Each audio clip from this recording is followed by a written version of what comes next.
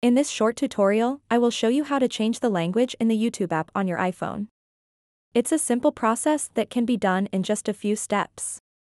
By changing the language, you can enjoy using the YouTube app in your preferred language.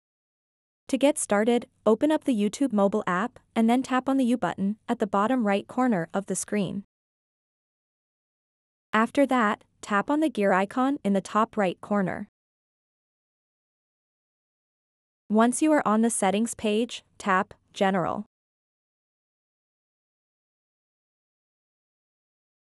And now you'll see an option called App Language, which is set to English. So if you want to change it, just tap on it.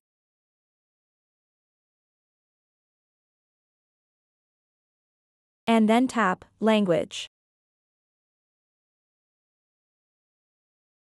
Now you have the ability to change the language on the YouTube app. You can scroll down this list of languages and select any language you like.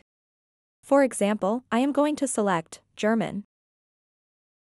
Now if I go back to the YouTube app, you'll see that the app interface is in the language I selected. This is exactly how you can change the language in the YouTube mobile app. So that wraps up this tutorial. If you have any questions about this whole process, please let me know in the comments section below. And if this video helped you out, please give it a big thumbs up and subscribe to this channel for more tutorial videos like this one. Thank you so much for watching and have a good day.